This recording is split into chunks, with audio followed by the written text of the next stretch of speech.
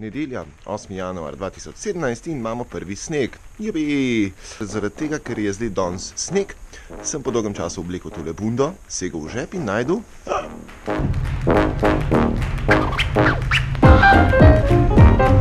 Jep. No, zdaj ga je pa končno začel metati, tako se da gre.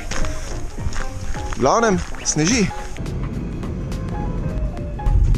Evo, zdaj gremo pa v savno. Zunaj je minus 5, kaj rečemo, če je verjeti mojemu avtu. Savna bo imela tu nekje 80 do 90 stopinj, tako da bo temperaturna razlika kar fajn. Ups, malo odnaša avto, malo imamo zasnežen. Hashtag Snegmagedon. Aleš Gantar pravi, da je to obvezen hashtag za vsako zimo.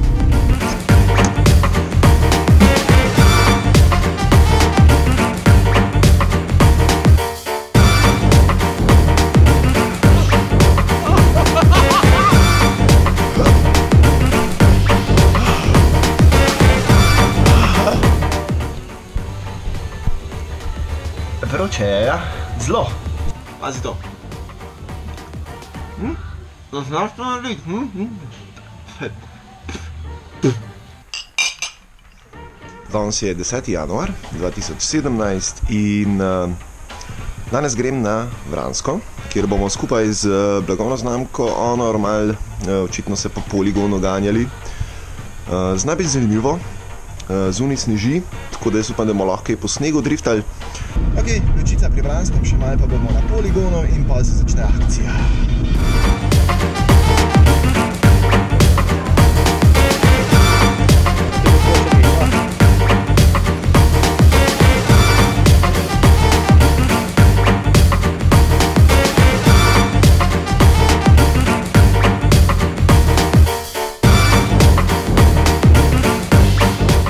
Kaj si dobil? Uh, dobil sem ono rosen telefon, zato sem pa mogel prodati svojo dušo. Evo, to je to. Pa Takšno malo so ceste. pa malo gibati. Sreča je ljubih rabe. Tako. Ja, tako. Povej, da je to najboljši telefon. ko- Najboljši telefon. Se bi ga pokazal, ampak sem ga že pospravil, da mi ga ne bi kdo vzel. Okay, zdaj nas čaka ena zelo zanimiva vožnja uh, s puhovim terencem, ki je v bistvu predelan tako, da uh, en vrti volan, en ima gas, en ima bremzo, en ima pa sklopko. Ups! Ja, šalter. Dajmo šaltat, sklopka. Evo, druga. Gremo naprej. Počas, bremza, bremza, bremza. Jaz sem spustila gas. Okay. Ja, to. To je to. Pa stoji. Še Zmade. stoji. Kliota se raje umakne. Boljši. Až ti na vrh, ali bom jaz? Len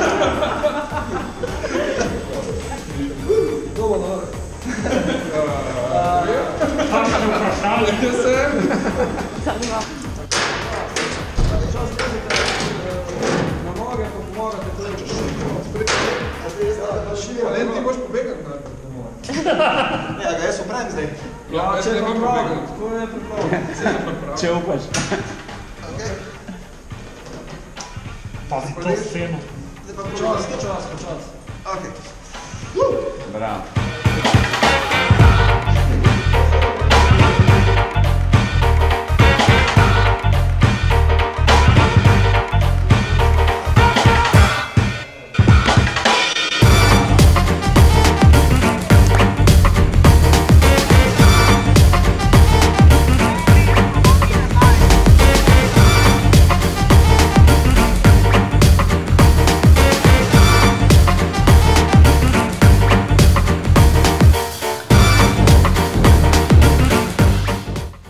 No in v tej točki je moj GoPro spustil dušo, tako da um, hvala Honorju za povabilo in pa AMZS na Branskem, ker imajo res ful dober poligon in ful dober program in če še niste bili tam, ful priporočam obisk.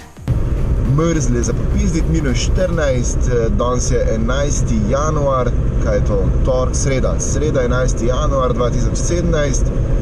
No, evo, to je bil moj drugi vlog. Če ti ni bil všeč, klikni dislike, če ti je bil všeč, klikni like in se naroči.